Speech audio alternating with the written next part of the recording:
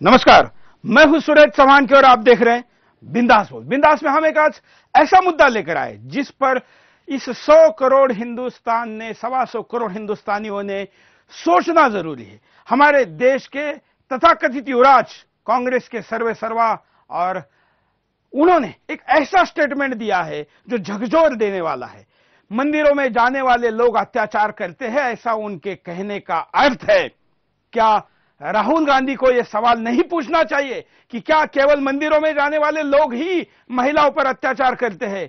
सबसे ज़्यादा दुनिया में अगर अत्याचार कहीं होते हैं तो मंदिरों में होते ऐसा आप क्यों कह रहे जबकि दुनिया का क्राइम का यह रिकॉर्ड है कि अन्य धर्मों में क्राइम हिंदुओं से ज़्यादा है। खास करके महिलाओं पर होने वाला अत्याचार अन्य धर्मों में ज़्यादा है। चर्चेस में तो जो क्रिश्चनों के सर्वे सर्वा पोप, पोप है उन्होंने पिछले कुछ दिनों पहले सार्वजनिक तौर पर माफ़ी भी मांगी कि चर्चेस में जो हो रहा है लैंगिक शोषण, उसके लिए उनको खेद है, वो माफ़ी मांगते हैं दुनिया से।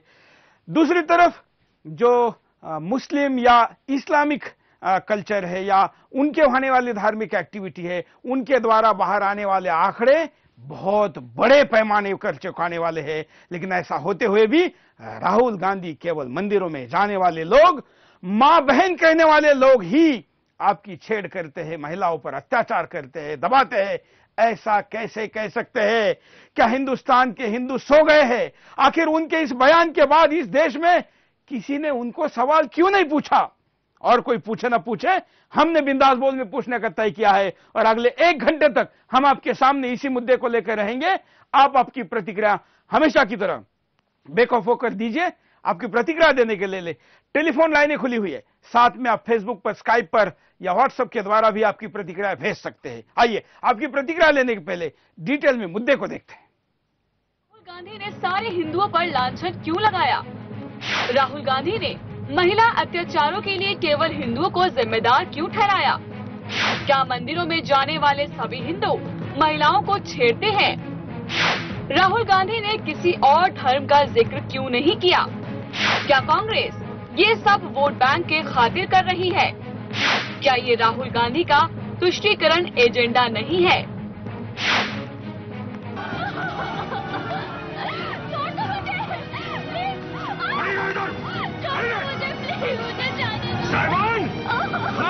ऊँची दमड़ी खालिद ऊँचा दाम हसीन शक्ल हर बात में भरपूर। बोली लड़ाई हाजरीन। फ़िल्म के एक सीन में देखिए साफ़ दिखाया गया है। कि महिलाओं के खिलाफ अपराध के लिए कोई धर्म विशेष जिम्मेदार नहीं है, बल्कि किसी भी धर्म का शख्स इसे अंजाम दे सकता है। लेकिन कांग्रेस उपाध्यक्ष राहुल गांधी को लगता है कि इसके लिए केवल हिंदू ही ज़्यादा जिम्मेदार है। नई दिल्ली में हुए महिला सम्मेलन में राहुल गांधी ने सभी हिंदुओं पर जो लांछन लगाया है, वो शर्मनाक है। राहुल गांधी महिला अत्याचारों की बात कर रहे थे, लेकिन इसके लिए उन्होंने जो उदाहरण पेश किया वो उनकी मानसिकता की ओर साफ़ इशारा करता है। राहुल ने कहा, जो लोग मंदिरों में जाते हैं, जो लोग आपको माँ बहन कहते हैं, वो ही आपको बसों में छेड़ते हैं। लोग मंदिर में जाते हैं, मत्था टेकते हैं, देवी की पूजा करते हैं। आपको कोई बहन कहता है, कोई माँ कहता है। मगर सच्चाई ये है कि वही लोग जो माँ और बहन कहते हैं, वही लोग आपको बस में छेड़ते हैं। वही लोग आपको दबाते हैं। ऐसे में सवाल उठता है, क्या महिलाओं के खिलाफ अपराधों के लिए केवल हिंदू ही जिम्मेदार है? राहुल गांधी ने केवल मंदिरों में जाने वाले हिंदुओं को ही निशाना क्यों बनाया? क्या महिलाओं को छेड़ने वालों में मुस्लिम और ईसाई आदि धर्मों के लोगों की संख्या बिल्कुल नहीं है। या राहुल मुस्लिमों को खुश करना चाह रहे थे। सबसे बड़ा सवाल ये है कि चंद दिनों पहले जो मेरठ के मदरसे में रेप और धर्मांतरण की घटना को लेकर पूरे मीडिया में हलचल मची रही, क्या वो राहुल की नज़रों में नहीं आई, जो गाजियाबाद के लोनी इलाके में एक मुस्लिम युवक, नाबालिग हिंदू लड़की को किडनैप करके ले गया और धर्मांतरण करा के शादी कर ली। क्या वो राहुल को नहीं दिखा? वैसे तो राहुल बोलते बहुत कम है, लेकिन जब राहुल की ज़ुबान खुलती है तो जहर ही उगलती है। जब जब कांग्रेस उपाध्यक्ष राहुल गांधी ने अपनी ज़ुबान खोली, तब तब कांग्रेस बैकफुट पर गई है। फिर चाहे वो अध्यादेश को बकवास बताकर तत्कालीन प्रधानमंत्री मनमोहन सिंह की पगड़ी उछालनी हो, या फिर चौरासी के दंगों में कुछ कांग्रेसियों को दोषी बताना हो। अपनी ही पार्टी को हर बार राहुल गांधी ने कटघरे में खड़ा किया है। इस बार भी राहुल गांधी ने कुछ ऐसा ही किया। राहुल यहीं पर नहीं रुके। उन्होंने केंद्र की नई सरकार की सोच पर सवाल खड़े किए। कहा, नई सरकार महिलाओं को सशक्त करने की सोच नहीं रखती है।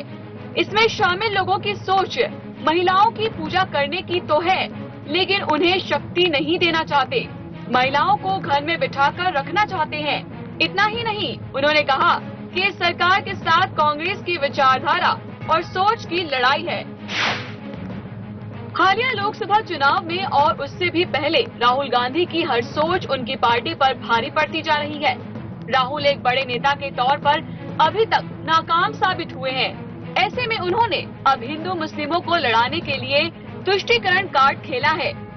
उनको शायद ये गलत फहमी है कि हिंदुओं को कुछ भी कहो, वे उसे गंभीरता से नहीं लेते, जबकि इसी बहाने मुस्लिमों को खुश किया जा सकता है। ऐसी सोच इस देश को कहाँ ले जाएगी और क्या इसी सोच से राहुल महिला सशक्तिकरण की ओर कदम बढ़ा पाएँगे? DH Kumar Sudarshan news bureau तो यह मुद्दा है और इस मुद्दे पर दिल खोल के और हाथ खोल के बोलने की ज़रूरत है क्योंकि बार बार बार बार ऐसा क्यों हो रहा है? इसका जवाब किसी के पास नहीं है। उस जवाब की खोज ज़रूरी है और उस खोज के लिए तह तक जाना ज़रूरी है। कॉलर के पास चलता है। जय हिंद। नमस्ते। बोलिए क्या कहना है आपको? नमस्ते अवधूत कुमार बेंगलोर से बोल रहा हूँ साहब। हाँ। हाँ राहुल राहुल भैया भारतीय संस्कृति से कभी जुड़े नहीं थे। और ना ही उनको उनको जुड़ने दिया गया। नतीजा ये है कि राहुल बाबा बाबा ही बने रहे। अतः राहुल बाबा के जो हैंडलर जो कहेंगे वही बाबा कहे बकेगा। बाबा कहेगा बाबा हंसेगा बाबा रोएगा। स्मरण करे जब हम्म। इस राहुल बाबा के पिताजी जब प्रधानमंत्री थे उस समय सर्वे हुआ था कि युवकों को ये पूछा गया था कि अगर भारत पर आक्रमण हुआ तो आपकी भूमिका क्या होगी? हम्म, तो भारत के युवाओं ने ये जवाब दिया था कि मैं ये करूँगा मैं वो करूँगा सैनिकों की सेवा करूँगा बॉर्डर में जाऊँगा। राहुल बाबा ने कहा था कि हम तो अभी पढ़ रहे हैं हम हम क्या कर सकते हैं? हमको कुछ कर कर, कर नहीं पाते हैं। चलिए धन्यवाद। अगर ये बाबा है तो इसको घर में रखिए पार्टी का और देश को सुनने और सुनाने वाला माइक मत दीजिए। बच्चे को बड़े काम नहीं दिए जाते, अगर आप उसको बाबा कहते हैं तो। अगले कॉलर जय हिंद। बोलिए। मैं बोल रहा हूँ कि हम ये मुस्लिम तुष्टिकरण है, और कोई नहीं है, जान ये तो सभी लोग मुस्लिम तुष्टिकरण में लगे हुए हैं। हद कर दिया है इन्होंने।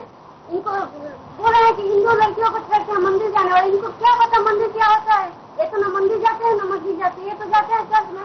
तो चर्च में जाते हैं तो अनिता अडवाणी के साथ इन्होंने क्या किया ये सभी जानते हैं और इनका पूरा इतिहास हम लोग जानते हैं।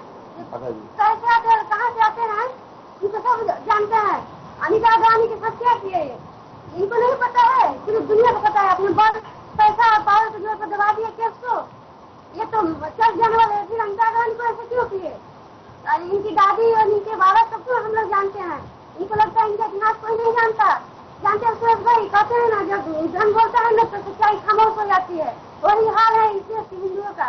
इनके पावर और पैसों के आगे सभी लोग इनके चमचे बने सीखते हैं लेकिन ये जानते हैं कि सभी हमारे चमचे हम सभी चमचे इनके नहीं है।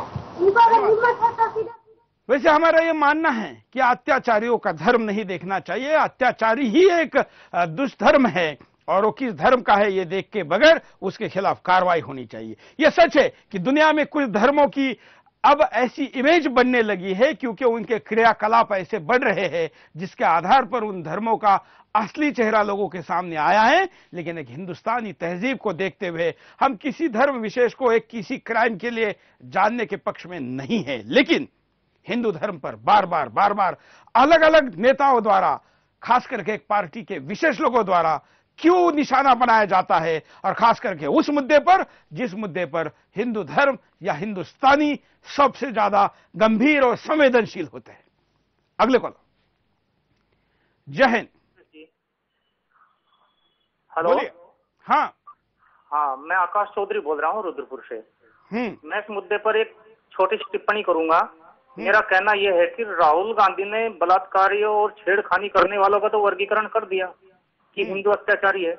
लेकिन कभी राहुल गांधी ने आतंकवादियों का भी वर्गीकरण किया है। क्या इसकी हिम्मत की है कि कौन से समुदाय से आ रहे हैं खास समुदाय से आ रहे हैं मतलब आतंकवादी? इसकी बोलने की हिम्मत उसकी कभी नहीं हुई कि हिंदुओं के लिए बोल दिया अगर इसकी सीख लेनी है उनसे महिलाओं पर ही राजनीति करनी है तो राहुल गांधी को नरेंद्र मोदी से सीख लेनी चाहिए। वो बजाय बलात्कारियों के जो स्कूलों में लड़कियों के टॉयलेट बनाने की बात करते हैं तो उसमें क्या बुराई है अगर उससे सीख ले ले? अगले कॉलर के पास चलते हैं। जय हिंद। सुरेश जी। बोलिए। हाँ नमस्कार सुरेश जी। हाँ। हाँ मैं गुजरात से बोल रहा हूँ। हम्म। मेरे को ये बुद्धिमान नेता राहुल गांधी से कहना है कि पहले तो ये हिंदुओं से माफ़ी मांगे क्योंकि मंदिर में जाने वाले अगर बलात् छेड़खानी करते हैं पूजा करने वाले छेड़खानी करते हैं और माँ बहन कहने वाले छेड़खानी कहते हैं तो इन्होंने आम सभा में माँ बहन कहा है तो क्या इन्होंने भी छेड़खानी की है? पहले तो ये हिंदुओं से माफ़ी मांगे और ये बदजुबा- बदजुबानी जो है बंद करे वरना इसका परिणाम भुगतना होगा। धन्यवाद। इस देश का जो समाज बचा हुआ है जो संस्कारों के आधार पर जीवित है वो केवल मंदिरों में जाने वाले लोगों के कारण है ये शायद राहुल गांधी को पता नहीं है। या फिर इनका स्क्रिप्ट राइटर शायद ये चीज़ जानता नहीं है या फिर इन्होंने तय करके इसको छेड़ने का प्रयास किया है। अगले कॉलर जय हिंद। बोलिए। हाँ जी सर नमस्कार। हाँ। हाँ मेरा मानना है जी राहुल गांधी ने जो बयान दिया है इसके लिए जो हिंदुत्व का भाव रखने वाले हिंदू हैं अगर बै, वो बैट ये वोट बैंक के बारे में भी सोचते हैं हाँ। तो इनको कोई भी वोट ना दे। क्योंकि जिसकी भावना जैसी है अगर जब ये हिंदुओं के लिए ऊपर ऐसा लांछन लगा सकते हैं तो ये किसी भी धर्म के बारे में बोल सकते हैं ऐसा। लेकिन क्या केवल पाँच साल बाद आने वाला एक वोटों का हथियार ही एक हथियार है ऐसी विषयों का प्रतिकार करने के लिए? नहीं नहीं ऐसा नहीं है ये असल में क्या है इनको ऐसा नहीं बोलना चाहिए इनके ऊपर कार्रवाई होनी चाहिए। धन्यवाद। वो कार्रवाई क्या हो यही हम चाहते हैं। क्यों नहीं हुई ये पूछना चाहते हैं। आखिर पाँच सालों बाद आने वाला चुनाव उसी में वोट ना देना केवल कार्रवाई का कोई सामाजिक एक संकेत हो सकता है।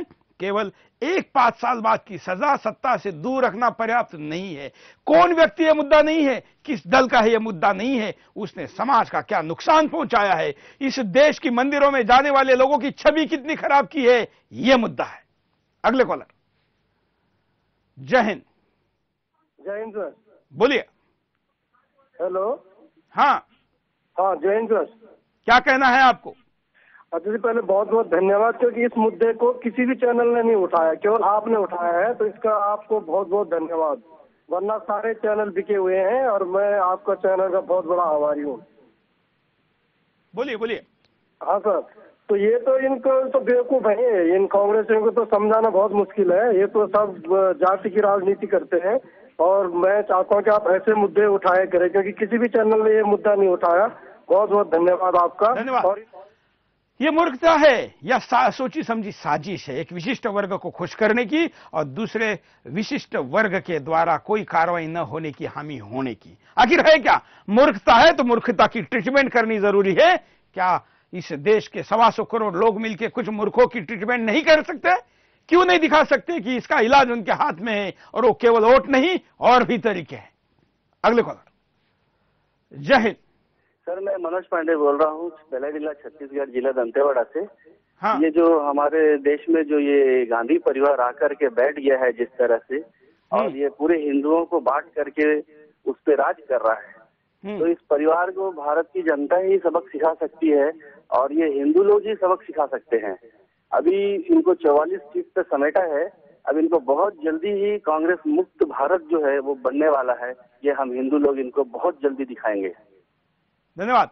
ये हमारी बहुत लंबी जो प्लानिंग होती है ना, इसलिए कुछ नहीं होता है। राजनीतिक दृष्टिकोण से नुकसान की बात और है क्या और तरीके नहीं है? क्या कानूनी कार्रवाई नहीं हो सकती है? क्या इतने बड़े समाज के पास कानून के कुछ विशेषज्ञ नहीं है जो ऐसे बयान को लेकर कोर्ट में जाए, पुलिस स्टेशनों में जाए, वहाँ जाकर इसकी सफ़ाई मांगे, जनता के प्लेटफॉर्म पर इसको लाया जाए? जैसे किसी कॉलर ने थोड़ी देर पहले कहा कि देश के किसी चैनल ने इसको नहीं उठाया तो बाकी चैनलों को उठाने के लिए आप लोग इसको मजबूर करें। आपके अखबारों को कहे, सोशल मीडिया पर इसको उठाए। तमाम और भी कितने चीज़ें हो सकती है, वो सब कुछ आज यहाँ चर्चा में लानी है। अगले कॉलर जय हिंद। बोल रहा हूँ मुंबई से। हाँ।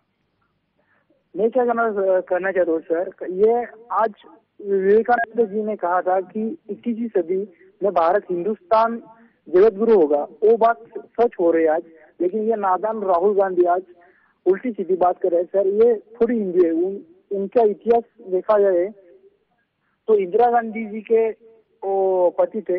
वो हिंदू नहीं थे उनके वंशज देखे जाए चलिए हम तो उस विषय पर भी कभी अलग से जाएँगे। आज हम इस विषय पर ज़्यादा बात करते हैं। अगले कॉलर के पास चलते हैं। जय हिंद। हाँ जय मैं मैं मुख्तार शेख बोल रहा हूँ। हम्म। मैं राम मंदिर के बारे में बोलना चाहता चाहता हूँ। हेलो। बोलिए। हेलो। तो एक्चुअली एक मेरा दोस्त है वो हिंदू है मैं मुस्लिम हूँ। हम्म। तो मुझे बोलता कि राम मंदिर जाने के लिए महिलाओं को या किसी को मुसलमान रोकता है के लिए। हम्म। तो मैं इनको बोला कि कोई किसी को रुकता नहीं है वो तो मस्जिद की बात है मस्जिद भी बाजी में और मंदिर भी बाजी में। तो मुझे इसके लिए बात करना था मुझे टीवी के फेस टू फेस बैठ के बात करना था। चलिए धन्यवाद। आप मिल सकते हैं अपनी बात को रख सकते हैं। हम देश भर के तमाम ऐसे लोगों का स्वागत करते हैं जो देश में कुछ आगे बढ़कर करना चाहते हैं। अगले कॉलर। जय हिंद। हेलो। बोलिए। हाँ जी सर मैं डॉक्टर गुंजन शर्मा बोल रहा हूँ। हम्म। से। सर मैं ये कहना चाह रहा हूँ कि राहुल गांधी से अगर आपको अपनी राजनीति चमकानी है तो वो जिस जिस मुद्दे को लेकर चमका इस मुद्दे को वो तेरे ऊपर है तू किसी मुद्दे को लेकर चमका। पर कम से कम हमारी धार्मिक आस्थाओं को तो मत चमका इसको तो मत बदनाम कर। मैं जानता हूँ कि तेरी औकात आज के टाइम में देश में क्या है। तेरी औकात तुझे सब लोग जानते हैं। तुझे जिस औकात में था तुझे उस, उस औकात में लाकर डाल दिया और आने वाले टाइम में डालेगा। मैं हिंदुओं से एक बात कहना चाहता हूँ कि गोपाल राम के नाम पर मैंने कब कब अत्याचार किए दुनिया को हिंदू करने मैंने कब कब घर संघ- नरसंहार किए। अरे कोई तो बतला दे काबुल में जाकर मैंने कितनी मस्जिद तोड़ी है। भूभाग नहीं सदैव मानव के हृदय जीतने का मैंने निश्चित किया है। तू उस हिंदू को लड़की छीनने वाला बता रहा है? अरे इतिहास में जितने भी जितने भी त्याग परिणाम तपस्या जितनी हुई हो तू इतिहास उठा कर देख। वरना तू सच्चा हिंदू है ही नहीं। तेरे खून में हिंदू तेरे खून के अंदर हिंदू शब्द है। शब्दों का थोड़ा लाइव में हम अपनी प्रतिक्रिया दे रहे संयम रखे लेकिन ये इतिहास जानता है। दुनिया गवाह है। काले अक्षरों में सफ़ेद पन्नों पर इतिहास लिखा गया है कि इस हिंदुस्तान में कभी भी अपनी एक सेंटीमीटर भी सीमा दूसरे देश पर थोपी नहीं है। उसके विस्तार के लिए कभी किसी के ऊपर आक्रमण नहीं किया है और अपनी वासनाओं के भूख के लिए दूसरों के घरों की महिलाओं को और उनकी इज़्ज़त को लूटने का भी कोई इतिहास हमारे यहाँ नहीं है। बल्कि छत्रपति शिवाजी महाराज के सैन्य में किसी ने गलती से सूरत के किसी मुस्लिम सरदार की बहू को लेकर आए थे और जब उस बहू को उन्होंने देखा तो शिवाजी महाराज ने कहा कि, काश हमारी माँ इतनी सुंदर होती तो हम भी इतने सुंदर होते। उनको माँ का दर्जा देकर, उनको सारी, कोई महिला जब घर में अतिथि के रूप में आती है, माता के रूप में आती थी तो जो जो होना चाहिए, वो सब कुछ करके उनको सुरक्षितता के साथ घर पे पहुँचाया। ये मंदिरों में जाने वाले छत्रपति शिवाज का इतिहास है शायद राहुल गांधी शिवाजी को पढ़े नहीं है। अगले कॉलर। जय हिंद। बोलिए। चलिए अगले कॉलर के पास चलते हैं। कॉलर को कहेंगे कि अपना आवाज़ तुरंत टीवी पर ना सुने। जय हिंद। हेलो। बोलिए। चैनल पर भी दिखा रहे हैं। हाँ। राहुल बाबा ने जो बोला है हिंदुओं के बारे में उनको अभी शादी कर लेनी चाहिए और हिंदू लड़की के साथ शादी करो तब पता चलेगा कि मंदिर में और क्या होता है क्या नहीं होता है तब उनको समझ में आएगा। राहुल बाबा कुंवर है ना इसके लिए समझ में नहीं हिंदू के बारे में गलत बात कर रहे हैं इसके लिए। राहुल बाबा को बोला कि सारे कांग्रेसी को बोला अभी उसकी शादी करवा चलिए लीजिए वो तो उनका व्यक्तिगत मामला है शादी की है नहीं है क्या है अभी वो तो उस पर हम नहीं जाएँगे। अगले कॉलर के पास चलता है। जय हिंद। हाँ। हेलो नमस्कार। बोलिए। सुरेश जी। हाँ। हम ये कह रहे हैं कि इंडिया के अंदर में हिंदू मुसलमान सब है तो इसका ये फसाद झगड़ा कौन कराता है? नेता कराता है या पब्लिक कराता है? ये बता दीजिए आप हमें सिर्फ़। हम्म, नेता ही करा रहा है। आपके सामने है बयान आपके सामने है। नेता करा रहा है तो इससे तो आम पब्लिक मरती है ना तो नेता को क्यों नहीं जेल डाला जाता है? जितने जो नेता है बीजेपी है या कांग्रेस है या अदर नेता है उसको जेल में क्यों नहीं डालता है गवर्नमेंट? नहीं सारे पार्टियों का नाम लेने की ज़रूरत नहीं देश में तो कई पार्टियाँ लेकिन कहा जिसने है उसको डालना चाहिए उस पर कार्रवाई होनी चाहिए वो किसी भी दल का क्यों ना हो। अगले कॉलर। जय हिंद। मैं नवीन बोल रहा हूँ सर दिल्ली से। हाँ। जी सर मुझे ये कहना है कि राहुल जी जब पहले अगर ये कह रहे हैं कि हिंदुओं के मंदिरों जाने वाले लोगों पर सवाल उठाते हैं तो सबसे पहले तो उन पर सवाल उठाना चाहिए जो चौवालीस साल के हो गए गर्लफ्रेंड लेके घूमते हैं वो तो खुद ही वैसी है। जो अगर उन्होंने आज तक शादी नहीं की गर्लफ्रेंड लेके घूम रहे हैं तो इसका जवाब वो क्यों नहीं देते? वो कितना इज़्ज़त कर रहे हैं महिला की? अगर उनको इतनी इज़्ज़त है तो शादी करे बकायदा फिर बाद में बात करें करके। चलिए गर्लफ्रेंड के बारे में हमारे पास तो जानकारी नहीं है। अगले कलर के पास चलते हैं। जय हिंद। जय हिंद। बोलिए। चौहान साहब आपके टीवी के माध्यम से और आपके प्रोग्राम के माध्यम से मोदी जी को एक ही संदेश देना चाहूँगा हम्म। कि कांग्रेस एक ऐसा कैंसर है हम्म। कि जिसको थोड़ा सा भी छोड़ा उसके बाद वो फिर से पनप जाएगा। उनको पूर्ण बहुमत मिला है और पूरे हिंदुओं की ताकत मिली है। इस पेड़ को ऐसे कुचल दें इनको ऐसे मसल दे कि ये कभी पनप ना पाए। पूरा इलाज कर दे इनका। इन लेकिन क्या क्या आप केवल सब कुछ मोदी करे ऐसा आप चाहते हैं? आपकी आस्था पे ठेस पहुँची है आप क्या करेंगे? हम हम सारे आ रहे हैं मोदी जी के साथ है। मोदी जी आज पूरे पावर में है एब्सोलूट पावर में है और ये कांग्रेस इतनी बड़ी कैंसर है जिसने हमारे देश को खोखला कर रखा है। अगले कॉलर के पास भी जाएँगे, आपकी प्रतिक्रिया लेंगे। हमारे पास व्हाट्सएप के कई मैसेज आए हैं फेसबुक पर प्रतिक्रिया आई है, इन सब कुछ को आपके सामने लाना है, आपकी बात को दुनिया के सामने दमदार तरीके से विदाउट एडिट रखना है। लेकिन रुकते छोटे से ब्रेक के लिए। ब्रेक के बाद फिर आएँगे, बिंदास बोलचाल।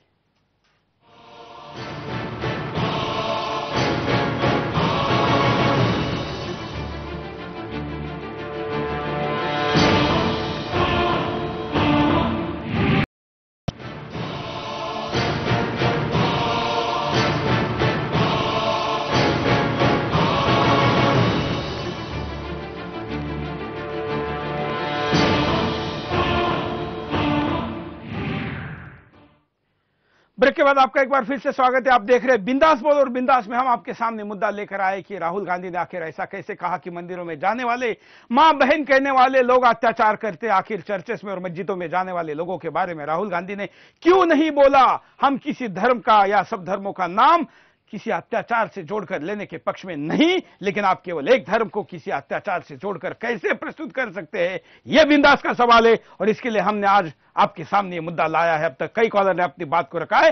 बचे हुए समय में आप भी क्या इसकी स्थिति है, क्या कारण है, और क्या परिणाम है, इसके आधार पर अपने मुद्दों को रखना, रख सकते हैं। इसके लिए टेलीफोन लाइनों पर कॉल कर सकते हैं स्काइप पर वीडियो कॉल कर सकते हैं व्हाट्सएप पर अपना वीडियो मैसेज रिकॉर्ड करके भेज सकते हैं और फेसबुक पर अपनी प्रतिक्रिया दे सकते हैं। टेलीफोन लाइन पर जो कॉलर उनके पास चलते हैं। सुनते हो क्या कहना चाहते हैं।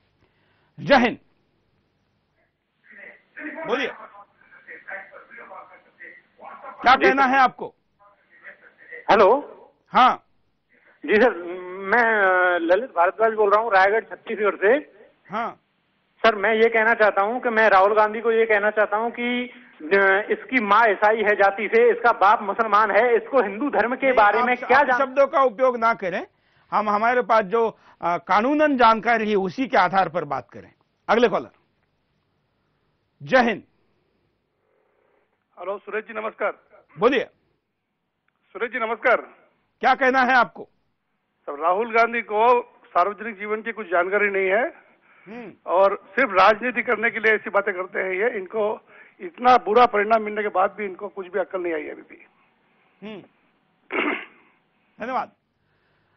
कई मैसेज आज सोशल मीडिया में आए हैं। हम स्क्रीन पर भी चला रहे हैं उसमें से कुछ मैसेज ये समझ में नहीं आता कि वोटों की राजनीति भी ये कैसे करे? क्या कैलकुलेशन है? आखिर 20 करोड़ वोटर अगर मुस्लिम समाज के हैं तो 100 करोड़ तो हिंदू है ना, आप उनको नाराज़ करके देश में सत्ता कैसे कर सकते हैं? ये कैलकुलेशन कभी समझ में नहीं आया। या फिर ये सौ करोड़ यूनाइटेड नहीं है, इसकी पूरी गारंटी कांग्रेस को है। इनके खिलाफ कुछ भी बोलो, इनको लात मारो, थप्पड़ मारो, या इनके आस्था पर जूता चलाओ। फिर भी ये चुप बैठते हैं। ये भ्रम शायद इनको है और इसलिए बार बार बार बार एक गलती हो रही है। अगले कॉलर जय हिंद। बोल रहा हूँ? हाँ। जी। सर, ये राहुल जी को शायद पता नहीं है कि इस्लामिक स्टेटों के अंदर जो उनके सीरियत के कानून है, वहाँ पे उनकी क्या स्थिति है महिलाओं की और अपने देश के अंदर, अपने सनातन धर्म की जो हिंदू आस्था है, उसको दुबाने के लिए, एक वोटों का ध्रुवीकरण करने के लिए कांग्रेस ये सारा षडयंत्र कर रही है तो कृपया ये बंद किया जाए, वरना उनके लिए और देश के लिए भी अच्छा नहीं होगा, क्योंकि अब देश बदल रहा है और मिजाज भी बदल रहा है। धन्यवाद। हम आपको राहुल गांधी ने क्या कहा था, जरा दोबारा सुनाते देख लीजिए। हिंदुस्तान में देवी की पूजा होती है। लोग मंदिर में जाते हैं, मत्था टेकते हैं, देवी की पूजा करते हैं। आपको कोई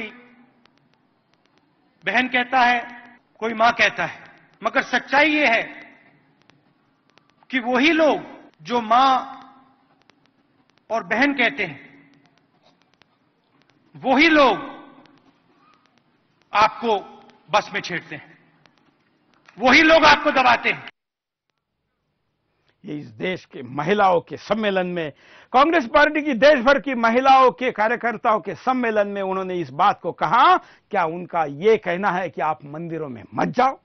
आखिर क्या संदेश राहुल गांधी इसके द्वारा दिए देना चाहते हैं? यह बात कांग्रेस के मन से कही है, इसलिए कांग्रेस तक सीमित नहीं है।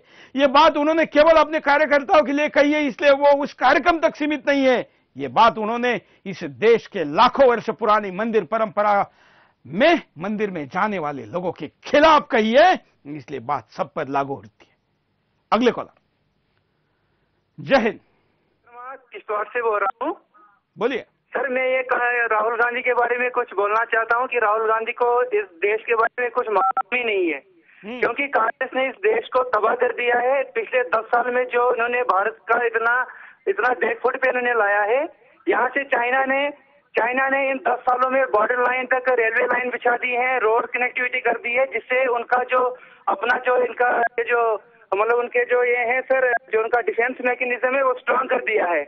और ये सब जो देन है, ये कांग्रेस की देन है सर तो मैं चाहता हूँ कि इन कांग्रेसियों को, इस देश से इनको सर इनको ये जो है, इनकी जो पार्टी है तो उसमें इलेक्शन कमीशन से गुजार लोग ना कहे। अलग अलग मुद्दों के आधार पर अपने तर्कों को रखे रखने के लिए हमारे पास बहुत कुछ है। जरा कारण देखते हैं कि आखिर क्या कारण है। देख लीजिए।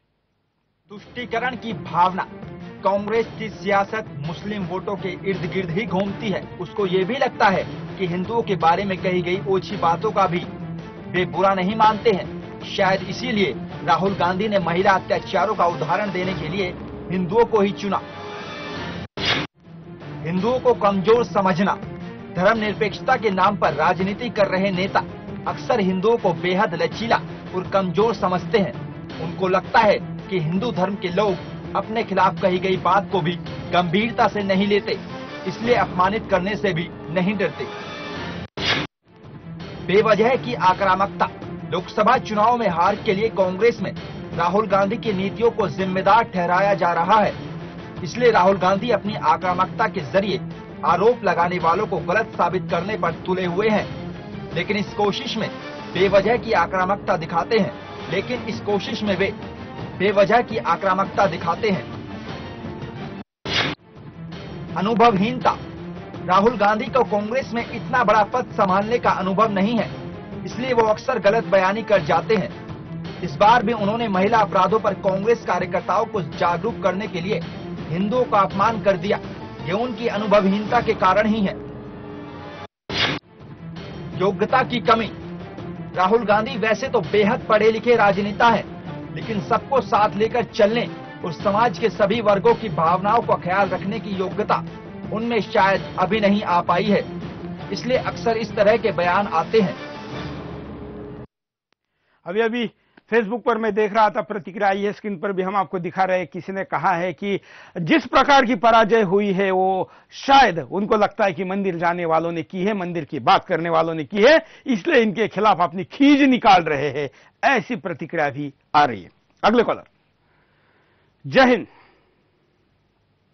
बोलिए क्या कहना है आपको? सूर्य जी नमस्कार। आपने बहुत अच्छा मुद्दा उठाया जो कि किसी चैनल ने नहीं उठाया। सबसे पहले तो मैं ये कहना चाहता हूँ कि राहुल गांधी जो है नमस्कार सुरेश जी। आपने बहुत अच्छा मुद्दा उठाया जो कि किसी किसी चैनल ने आज तक नहीं उठाया है। मैं आपको ये कहना चाहता हूँ कि राहुल गांधी जो है वो तो खुद ही रेप के एक्यूज है। सुकन्या देवी का रेप किया था उन्होंने 2006 में जो कि केस दबा दिया गया। और दूसरी बात ये है कि आज जितने भी यूपी में दंगे हो रहे हैं और बलात्कार हो रहे हैं वो सब मुसलमान लोग कर रहे हैं लेकिन मीडिया उनका नाम नहीं बताती है। और यही राहुल ऐसा गांधी कहना ऐसा नहीं कह सकते बिल्कुल। हम राहुल गांधी जो गलती करे वो हम ना करें लेकिन सच्चाई कुछ है उसको सब लोग बया ज़रूर करें। अगले कॉलर जय हिंद। सुनील जी। बोलिए क्या कहना है आपको? ये कांग्रेस है ना हम्म, हेलो? बोलते रहिए। हाँ मैं ये, ये बोल रहा हूँ कि ये जो कांग्रेस है ये सिर्फ़ मुसलमानों के लिए काम कर रही है न कि हिंदुओं के लिए। धन्यवाद। ये मुद्दा कई बार आया है जरा नए तर्कों के साथ बात। अगले कॉलर जय हिंद। हेलो। जी हाँ सर बोलिए। संतोष सिंह बोल रहा हूँ इलाहाबाद डिस्ट्रिक्ट से। हम्म। हाँ जी हाँ सर जैसे राहुल गांधी को तो हम लोग पप्पू कहते ही हैं और इनकी बातों को इतनी गंभीरता से नहीं लेना चाहिए। इनके इनसे हम क्या अपेक्षा कर सकते हैं जिसको हिंदू धर्म के बारे में कोई जानकारी नहीं है और इनकी बातों को बहुत हम गंभीरता से अगर लेते हैं तो हमारे देश की राजनीति के लिए भी और आने वाले समय के लिए भी बहुत घातक होगा जी। जी सर इसलिए हमारा कहना है। अगले कॉलर के पास चलते हैं। जय हिंद। जी नमस्कार मनीष बोल रहा हूँ फरीदाबाद से। हाँ। अ, सुरेश जी अ, मैं विगत कुछ वर्षों से ये अनुभव कर रहा हूँ कि हमारे समाज में आज आज सेकुलरिज्म का मतलब ही खत्म हो गया है। आज आपको सबसे बड़ा सेकुलरिस्ट बुद्धिजीवी बनना है तो हमारे सनातन धर्म को हिंदू धर्म को जितना भला बुरा लोग कहते हैं वो अपने आप को सबसे बड़ा सेकुलरिज्म और बुद्धिजीवी माने जाते हैं। नहीं भला भला बुरा में भला नहीं केवल बुरा कहते हैं। बुरा इसलिए कहते हैं कि उस, उनसे उनकी दुकानें चलती हैं। आप देखिए कुछ न्यूज़ चैनलों को छोड़ के जैसे आपका चैनल है मैं आपके चैनल को बहुत अच्छे से देखता हूँ बहुत टाइम से। लेकिन और जगह आप देखेंगे ना तो वही चीज़ें दिखाई जाती है हमारे धर्म के बारे में गलत गलत बातें। कभी भी हमारे धर्म की जो संस्कार है जो हमारी अच्छी चीज़ें हैं वो कभी भी नहीं दिखाता है कोई भी चैनल हमेशा मुझे तो ऐसा लगता है कि बाहर से कुछ फंडेड भी आता है कि हमारे धर्म को हमारे उसको बुरा दिखाया जाए जिससे कि हमारी जो अ, मतलब देश भावना है उस पर चोट पहुंचाई जाए। तो ये कुछ टाइम से चल रही है प्रॉब्लम धन्यवाद। अगले कॉलर के पास चलते हैं। जय हिंद। सुरेश जी जय हिंद। हाँ। हाँ सर मेरा कहना ये था राहुल जी के बारे में हम्म। कि भगवान श्री कृष्ण ने गीता में कहा था कि मतलब जो है वर्ण संकर कुलघातियों को और कुल को नरक में ले जाने वाला होता है। तो ये राहुल गांधी जी जो वर्ण संकर हैं ये अपनी कांग्रेस पार्टी को अपने माँ को दादी को सबको जो है नरक में ले जा रहे हैं। तो इसलिए जो है इनकी बुद्धि मारी गई है और तुलसीदास जी कहते हैं कि जाको प्रभु दारू दुख ना ताकि मत पहले हर लीना। तो इनकी मति खत्म हो गई है। जय हिंद। अगले कॉलर के पास चलते हैं। जय हिंद। हेलो। बोलिए। साहब राम राम। हम्म। चौहान साहब आपके जो आपने जो है जो इस चैनल के थ्रू जो है ये क्रांति करी जो बिंदास बोलगी इसके लिए आपको दंडवत प्रणाम। और जो है जो एक गद्दार है राहुल गांधी जैसे गद्दार इन्हें जो है जय चंदू को इनके नाम का स्पेशल कानून बनना चाह इनके सिर उड़ा दिए जा और इन्हें भविष्य में जो है लोग कितने गुस्से में हैं। लोग क्या कह रहे हैं राहुल गांधी? ये राहुल गांधी को इस कार्यक्रम को देखने के लिए तो हमने कहा है पता नहीं आप वो लाइव में देख भी रहे कि नहीं लेकिन हम इसकी सीडी और इसकी यूट्यूब की लिंक उन तक ज़रूर भेजेंगे। उसके बगैर हमें भी शांति नहीं मिलेगी क्योंकि हिंदुस्तान क्या कहता है ये राहुल गांधी अपने आँखों से देखे और अपने कानों से सुने और फिर अपने स्क्रिप्ट राइटर को पूछे कि आखिर उसने ऐसा क्यों लिख के दिया था। अगले कॉलर जय हिंद। सुरेश जी नमस्कार। बोलिए। सुरेश जी नमस्कार। बोलिए बोलिए। हेलो। हाँ। सुरेश जी नमस्कार। भाई नमस्कार ही करते रहोगे तो राहुल गांधी और मंदिर जाने वाले को कुछ बोल देगा जल्दी बोलिए। नहीं सर सॉरी वो एक्चुअली जो राहुल गांधी जी के जो स्टेटमेंट अभी आई है उस स्टेटमेंट को देख करके ऐसा लगता है कि उनको हिंदुस्तान में हिंदुओं की बिल्कुल भी परवाह नहीं है। कि किसी के बारे में भी कुछ भी बोल देते हैं, जो उनके मुँह में आता है। और ये शायद किसी जन्मों का कांग्रेस का पाप है, जो उनको मिल रहा है इस रूप में कि वो धीरे धीरे इस हिंदुस्तान से गायब करने के लिए ही शायद जन्म दिया उन्होंने। चलिए, धन्यवाद। लेकिन मैं आपकी एक बात को दुरुस्त करूँगा। आपने कहा किसी के भी खिलाफ बोल देते हैं। और किसी के खिलाफ बोलने का तो कोई सबूत नहीं है। और और किसी के खिलाफ बोलने की शायद हिम्मत भी नहीं है। अगले कॉलर जय हिंद। नमस्कार जी। बोलिए। सुरेश भाई नमस्कार। बोलिए बोलिए। मैं दीनदयाल बोल रहा हूँ अमेरिका से। बोलिए काफ़ी दिनों बाद। हम आपको बहुत बहुत धन्यवाद देते हैं कि आप पप्पू की भी बातें करने शुरू कर दी आपने। ये तो पहले ही पागल है पप्पू पागल है। इसको तो इसके बारे में तो बात ही करना बेकार है। ये विदेशी लोग हैं, विदेशों के लिए, विदेशियों के लिए ही सोचेंगे। हमारे भारतीयों के लिए क्या सोचेंगे? हमारे संविधान में ये लिखा है कि ना कोई, यहाँ कोई हिंदू है, ना मुसलमान है, ये सभी भारतीय हैं। ये लोग उनको अपना वोट बैंक का लिए, वोट बैंक को अपना पाने के लिए सारा कुछ करते हैं। और इसके बारे में, इसके बारे में ज़्यादा कुछ कहने की ज़रूरत नहीं है, कोई इनका खानदान ही ऐसा है। इनके नेहरू के नेहरू से लेकर आज तक जो भी चलता रहा है, उस उस वक्त उन्होंने अपने वोटों के लिए किया है, जिन्होंने देश का बंटवारा किया। ये लोग तो वो हैं, जो देश को बेचकर अपने अपने घर भरते हैं। और इन्होंने ऐसा ही किया है, इसके बारे में तो बात करना ही बेकार है। ये तो बेकार लोग हैं, इनको इनके बारे में छोड़ो। अब तो इनका काप कल्प हो गया। यही यही कहना है कि विनाश काले विपरीत बुद्धि। इनकी बुद्धि देखिए हम जानते हैं कि टीवी पर लाइव में कभी कुछ शब्दों का चयन सही होना चाहिए कुछ शब्द नहीं बोलने चाहिए। लेकिन लोगों के उस भावना को राहुल गांधी ने ठेस पहुंचाई है जिसके लिए लोग क्या क्या बोल रहे हैं ये आप सुन रहे हैं। हम हर कॉलर को उस बात के लिए रोक भी नहीं सकते क्योंकि आखिर यहाँ पर भावना और श्रद्धा और आस्था को ठेस की सवाल है। राहुल गांधी इन लोगों से ऐसी बात सुनने की अपेक्षा न करने के बजाय अपने मुँह पर कंट्रोल करे। जो बयान दिया है उसके लिए माफ़ी मांगे और दोबारा ऐसा ना करने की हामी भरे। अगले कॉलर। जय हिंद। जय हिंद जी बोलिए। जय हिंद जी बोलिए। सुमेर सिंह बोल रहा हूँ अलवर डिस्ट्रिक्ट सर जी मैं ये कहता हूँ हम हिंदुओं को सोचना चाहिए कांग्रेस का पिछला इतिहास पढ़ के पंडित जवाहरलाल नेहरू ने गौ कशी के लाइसेंस दिए। इंदिरा गांधी ने इमरजेंसी में हिंदुओं के नसबंदियाँ करा दी। राहुल गांधी ने पहले आतंकवादी बताया था सारे हिंदुओं को अब वो सबको बलात्कारी बता रहे हैं। तो हम हिंदुओं नहीं सोचना चाहिए। आखिर क्या करना है आगे धन्यवाद। इन्होंने बिल्कुल सही याद दिलाया कि राहुल गांधी ही वो व्यक्ति है जिन्होंने अमेरिकन प्रतिनिधिमंडल को, और सार्वजनिक तौर पर भी ये बात सामने आई थी कि इन्होंने भगवा आतंकवाद की बात दुनिया के सामने लाकर, समस्त भगवा जो कि त्याग का प्रतीक है, ऊर्जा का प्रतीक है, जिसके लिए लाखों साल में करोड़ों लोगों ने अपने प्राणों की आहुति दी है, उसको आतंकवाद के साथ जोड़ा था। रुकते एक छोटे से ब्रेक के लिए। ब्रेक के बाद दोबारा आएँगे। बिंदास बोल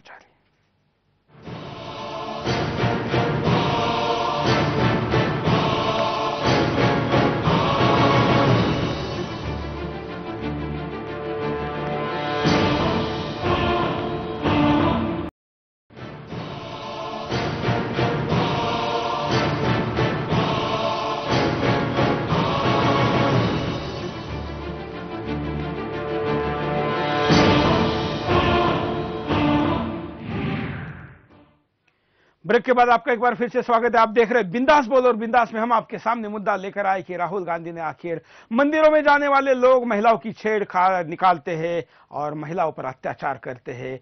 माँ बहन कहने वाले लोग ही ऐसा करते हैं। ऐसा आखिर क्यों कहा? ऐसा कहा तो उनके खिलाफ कार्रवाई क्यों नहीं हुई? और दूसरे धर्मों के लोगों का उन्होंने उल्लेख क्यों नहीं किया? क्या दूसरे धर्मों के लोग ऐसा करते ही नहीं? या उनके खिलाफ बोलने की राहुल गांधी को हिम्मत नहीं, या उन लोगों ने इनसे यह बुलवाया है। आखिर ये सारे सवालों के जवाब राहुल गांधी तो अब तक हम तक नहीं पहुँचा पाए हैं, लेकिन हिंदुस्तान सवाल उनको लगातार पूछ रहा है। और भी सवाल पूछ सकते हैं, और इसके कारण परिणाम क्या है यह भी बता सकते हैं। कॉलर के पास चलते हैं। जय हिंद। जय हिंद, नमस्कार सुरेश भाई। बोलिए। मैं ये कहना चाहूँगी कि राहुल जी को तो मैं हिदायत देना चाहूँगी कि कभी वो मंदिरों में और सत्संगों में जाएँ तो उन्हें पता चले कि वहाँ के लोगों की भावनाएँ क्या होती हैं हम्म। और उनकी सोच किस तरह की होती है। अगर वो एक हिंदू है तो उनको इन चीज़ों से जुड़ना चाहिए। इन चीज़ों से दूर हैं शायद तभी इस तरह की वो बातें करते हैं। और दूसरा जो जो इनको जड़ से इनकी गलतियों को जड़ से उखाड़ना चाहते हैं उन्हें तो फिर ये जेल में डाल देते हैं और उनकी जमानत तक नहीं देने देते। बिल्कुल धन्यवाद। अगले कॉलर। जय हिंद। हेलो। बोलिए। ओ मैं बोल रहा हूँ आपके जो भाई साहब बोल रहे हैं इनको पूछो औरतों को किसने छुड़ाया शिवाजी ने या सिखों ने? नहीं आपको क्या कहना क्या है आपको नहीं इतनी पता तो पढ़ ले। हेलो। राहुल गांधी को कह रहे हैं आप। हैं? धन्यवाद।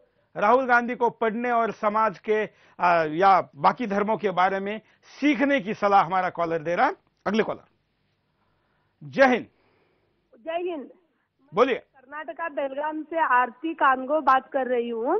हाँ। सुरेश जवान जी मैं आपको पूछ रही हूँ आप ये पप्पू जैसे लोगों से क्या आ, इच्छा रखते हैं? मनमोहन जैसा अर्थशास्त्री था वो भी जब देश देश सब मिट रहा था तो भी वो सोनिया गांधी के हाथ का कठपुतला था और उसके, उनको लोग अर्थशास्त्री बता रहे थे। तो हम मनमोहन सिंह जी के पास से भी कुछ हासिल नहीं कर सके। इतना अच्छा अर्थशास्त्री हमने पंत प्रधान करके चुना था। तो आप ये पप्पू जैसे राहुल गांधी के पास से क्या अपेक्षा रखते हैं? अपेक्षा और... नहीं रख रहे, लेकिन क्या उनको कुछ भी बोलने की छूट दे देंगे?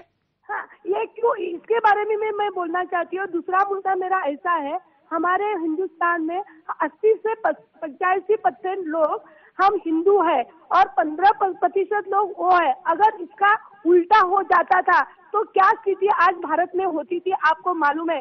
लेकिन हम लोग जो आज है हिंदू तो इतना उनका पुरुषार्थ कम हो गया है और उनका उनके मन में देश के बारे में अपने हिंदुत्व के बारे में अभिमान ही नहीं बचा है।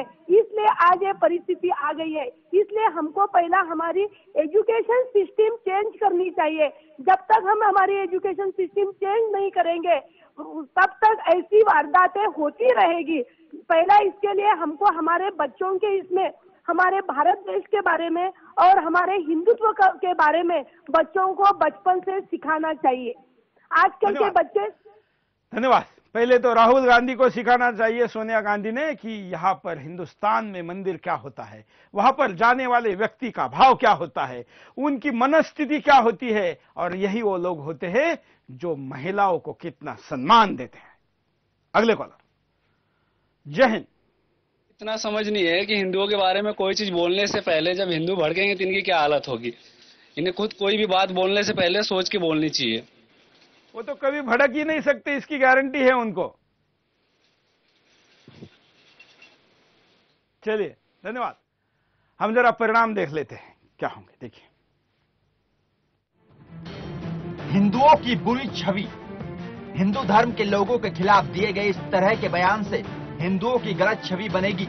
इंटरनेट के इस दौर में राहुल का ये बयान पूरी दुनिया में पढ़ा गया है। ऐसे में दूसरे देशों में रहने वाले लोग हिंदुओं को महिला अत्याचारों के लिए जिम्मेदार समझ सकते हैं। सांप्रदायिक तनाव बढ़ेगा। ऐसे बयान सांप्रदायिक तनाव बढ़ाने के लिए भी जिम्मेदार है। राहुल के बयान का हवाला देकर दूसरे धर्म के लोग हिंदुओं पर लांछन लगा सकते हैं, जिससे समाज में तनाव भड़क सकता है। युवाओं में गलत संदेश।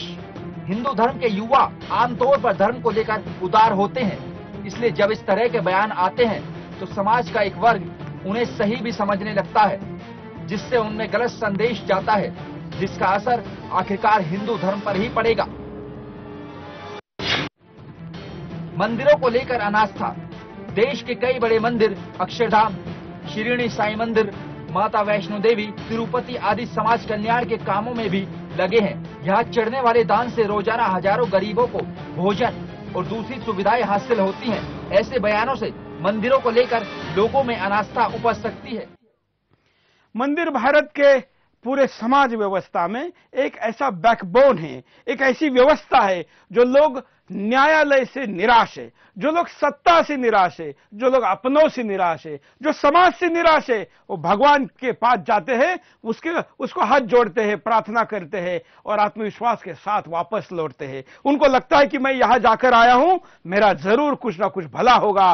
एक सकारात्मक ऊर्जा जहाँ मंदिरों से मिलती है, वही ऊर्जा व्यक्ति को जीने का राह दिखाती है, वही व्यक्ति आशा जगाती है, वही व्यक्ति के जीवन में पड़ने वाला प्रकाश इन्हीं मंदिरों से मिलता है। अच्छाई का गंध इन्हीं मंदिरों से मिलता है। वो सुगंध जीवन में आए, इसलिए लोग लाखों हज़ारों की संख्या में, करोड़ों की संख्या में कभी कुंभ में तो विभिन्न मंदिरों में जाते हैं। ये इस देश के समाज व्यवस्था का एक ऐसा हिस्सा है जो कभी मंदिरों में आकर एक दूसरों की मदद, बाटर देने की स्थिति में समाज होता था और आज भी अन्य नए स्वरूप में मंदिर हमारे यहाँ पर जीवित है। मंदिर इस समाज के एक ऐसी व्यवस्था है जिसको अगर नेस्तनाबूद किया जाए तो इस देश में जो मनोरुग्न है, उनकी संख्या करोड़ों में बढ़ सकती है। और करोड़ों मनोरुग्न किसी देश में हो और वो देश विकसित हो, किसी शत्रु का मुकाबला कर सके, ऐसे करोड़ों मनोरुग्नों का देश भी मनोरुग्न होगा। और क्या देश को मनोरुग्न करने के लिए मंदिरों के खिलाफ यह षड्यंत्र है यह भी देखना चाहिए। अगले कॉलर जय हिंद। विश्वकर्मा बासी सिद्धार्थ नगर से बात कर रहा हूँ। क्या हाँ। किसी नेता की औकात क्या हिम्मत है कि किसी मदरसे मदरसे और मस्जिद से बता सकते हैं कि यहाँ से आतंकवाद पैदा होता है? कल फेसबुक पर एक आया था एक ऑप्शन लिखा था देश को किससे खतरा? ए ही चाइना से बी पाकिस्तान से ती, तीसरा लिखा था देश के गद्दारों से या दोगले लोगों से? है उस पर सभी के राय थी निन्यानवे परसेंट किसी गद्दारों से। जय हिंद सर। धन्यवाद। गद्दारी तो होती रही है और उन गद्दारों को समय पर सजा न देने का परिणाम हम 1200 साल के गुलामी के रूप में भुगत रहे हैं। अगले कॉलर जय हिंद। मैं ये बोलना चाहता हूँ कुत्ता जब भी भोंकता है बेसुरा भोंकता है और ये राहुल नाम का कुत्ता तो अब पागल हो चुका है। चलिए ऐसा शब्दों का चयन मत करिए। अच्छे शब्दों में अपनी प्रतिक्रिया देने के लिए बहुत बड़ा शब्द भंडार हमारे पास हिंदी में उपलब्ध है। अगले कॉलर जय हिंद। जय हिंद सर। बोलिए। सर राहुल गांधी और सोनिया गांधी को तो अपना बोरिया बिस्तर बाँध के इटली चला जाना चाहिए सर। ये इतनी जहर भरी भाषा बोलते हैं हिंदुओं के खिलाफ। इनको तमीज नहीं है बिल्कुल भी। चलिए जरा हम उपाय देख लेते हैं कि आपने अब तक उपाय क्या भेजे हैं स्क्रीन पर आपके सामने। विरोध जताया जाए। हिंदुओं को आसान टारगेट समझने वाले नेताओं का विरोध होना चाहिए। वे जहाँ भी जाएँ, उनको एहसास कराया जाए कि आपने गलत बयान दिया है। उनको ऐसे बयान के लिए माफ़ी मांगने पर मजबूर किया जाए। तुष्टिकरण से बचें। राजनेताओं को चाहिए कि वे तुष्टिकरण की नीति से बचें। समाज में सभी धर्मों के लोग बराबर हैं। इसलिए किसी खास तरह के अपराध के लिए हिंदुओं को ही जिम्मेदार ठहराना गलत है। सभी धर्मों का सम्मान हो। राहुल गांधी जैसे नेताओं को चाहिए कि वे सभी धर्मों का सम्मान करें। वोट बैंक के लिए दिए गए बयानों से समाज में गलत संदेश जाता है और हिंदू धर्म के लोग इससे खासे आहत हुए हैं। मंदिरों के कार्य का प्रचार हो, हिंदू धर्म के तमाम मंदिर समाज के लिए कई तरह के कार्य कर रहे हैं, लेकिन ज़्यादा प्रचार न होने के कारण राहुल गांधी जैसे नेताओं तक उनकी आवाज़ नहीं पहुँच पाई है। इसलिए पता लगाना चाहिए कि कितने भंडारे, अनाथालय आदि ऐसे मंदिरों की वजह से चल रहे हैं। इसलिए वहाँ जाने वाले सभी लोगों का अपमान न किया जाए। जरा कुछ वीडियो मैसेज भी देखते जो व्हाट्सएप पर आपने भेजा है। अगर लोग मंदिर जा रहे हैं तो ऐसा नहीं है कि वो लड़की छेड़ने के लिए जा रहे हैं। लोगों की अलग अलग इंटेंशन होती है लोग पूजा करने के लिए भी जाते हैं। जिन लोग की इंटेंशन है छेड़ने की वो ज़रूरी नहीं कि मंदिर में ही छेड़ेंगे वो कहीं भी छेड़ सकते हैं। तो ये बात मेरे हिसाब से तो बिल्कुल गलत है। मेरा यही कहना है कि ऐसा कोई ज़रूरी नहीं होता कि जो मंदिर या मस्जिदों में जाता है वही रेपिस्ट या फिर क्रिमिनल होता है। इवन सबसे पहली बात तो राहुल गांधी खुद भी कई बार मंदिर गए मैंने भी पिक्स देखा हुआ है। तो इसका मतलब वो लड़कियाँ छेड़े उन्होंने लड़कियाँ छेड़ी हैं तो उनके पेरेंट्स भी गए हुए हैं। इवन हर हिंदू जाता है तो हम अपनी माँ बहनों को छोड़ते हैं। ये कम्प्लीटली बुलशिट अब लोगों की प्रतिक्रिया देख रहे हैं कि लोग क्या बातें कह रहे हैं। जरा कॉलर के पास चलते हैं उनकी राय भी लेते हैं। जय हिंद। हेलो जय हिंद सर। बोलिए। अपना देश तो सर भारत में कृष्ण परमात्मा ने इसे हिंदू राज्य बनाया था हिंदू राष्ट्र बनाया था। हम्म। और फिरोज शाह वो तो उनके दादाजी है ना। तो उनके हम्म। धर्म के खिलाफ वो और कुछ कैसे बोलेंगे? मतलब दादाजी के खिलाफ तो कुछ नहीं बोलेंगे। अगले कॉलर के पास चलते हैं। कम शब्दों में अपनी बात को रखे। हम कार्यक्रम के अंतिम क्षण की तरफ़ बढ़ रहे हैं। जय हिंद। बोलिए। जय हिंद। हाँ। हाँ मैं ये कहना चाहूँगी अ, कि राहुल राहुल गांधी इस एक तो तीन बातें बोलना चाहूँगी मैं। एक तो राहुल गांधी इस भगवा रंग से क्यों डरते हैं? जब हमारा देश आज़ाद नहीं हुआ था जब तिरंगे के पहले आज़ादी की लड़ाई हम सबने भगवा रंग झंडे के तले लड़ी। दूसरी बात ये बोलना चाहूँगी कि ये ये इन्होंने अचानक नहीं बोला। ये जो मंदिर जाने वालों के लिए बयान जारी किया है ये अचानक नहीं किया है। ये साजिश है। हमारे शंकराचार्य हमारे साधु संत हमारे गुरुदेव बापूजी हमारी प्रज्ञा साध्वी जी उनके बाद अब उनके भक्तों का मतलब एक सामान्य हिंदू का नंबर आना तय था। तो मैं ये इस बिल्कुल ये बहन जी ने कहा है कि इन्होंने क्रम बताया कि शंकराचार्य से शुरू हुए हमले की सीरीज़ सामान्य भक्तों तक आकर पहुँची है और ये यहाँ खत्म नहीं होगी बल्कि और बढ़ने की संभावना है। ये और न बढ़े।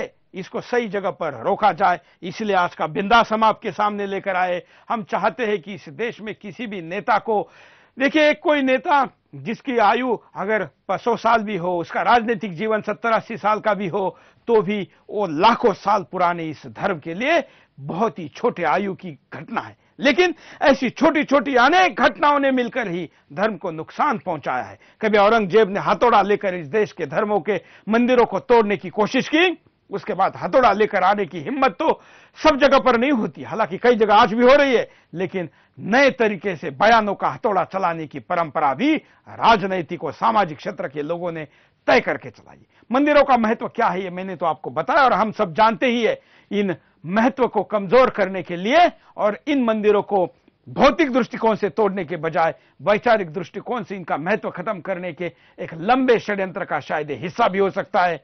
ये क्या है? इसका जवाब हमसे ज़्यादा राहुल गांधी ठीक से दे सकते हैं। एक राजनेता होने के नाते और देश के दो नंबर के पार्टी के नेता होने के नाते उनको आज के बिंदास के सवालों के जवाब देना अनिवार्य है। हिंदुस्तान उनसे जवाब माँगता है और उनका अगर जवाब हम तक आता है, ऐसा हिम्मत और हौसला दिखाते हैं तो हम उनके बयान को भी आपके सामने ज़रूर लेके आएँगे। और अगर नहीं बोलेंगे तो लोगों को कुछ भी बोलने की जो छूट है, वो जारी रहेगी आज के लिए इतना ही। जय हिंद।